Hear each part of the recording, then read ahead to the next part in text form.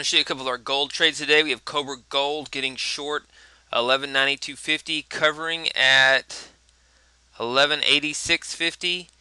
And we've got Gold Spike. I want to show you this showing you how to trade two opposing positions in the same market, same contract. Uh, Gold Spike got long at 1190.80, put a $1,000 profit target on it.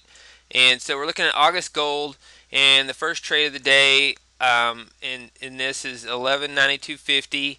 And then the second trade of the day is uh, Gold Spike got long before Cobra Gold got out. So Gold Spike got long at 1190.80. So you've got two trades here on. In reality, it looks like you got short at 1192.50, uh, exited at 1190.80, and then when Gold Cobra Gold took its profit target at 1186.50, it this strategy was flat, but your real world position was long and that puts you in on gold spike and then it got out at, at 1200.80 and you see huge short covering rally uh, in gold going into the weekend last day of the quarter.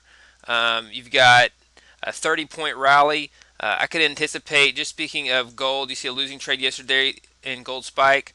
Um, you get 30 points from 1190 to 1220 and you pull back here you could get another 30 point move and move up to the 1240 uh, 1250 area potentially uh, in gold going into the weekend going to close the month out. Uh, nothing goes straight up or straight down.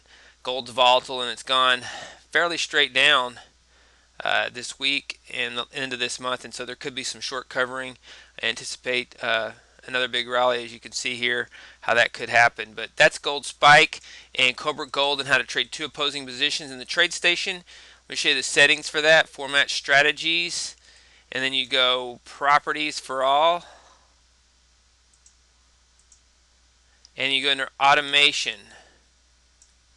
And you set it up like this. You need to check this. You can trade multiple automated strategies or multiple charts using the same futures or forex symbol in the same account um, I cancel and replace my limit orders after three seconds. You need to do this in every chart with the same symbol. You'd have to go over here to the gold spike strategy and do the exact same thing. And there's your settings.